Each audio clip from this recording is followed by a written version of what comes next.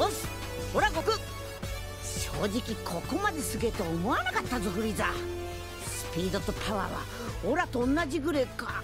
いややべえ。もしかしたらオラちょっと負けてっかもしんねえぞ次回「ドラゴンボールスーパー」全開バトル。復讐のゴールデンフリーザ絶対見てくれよな。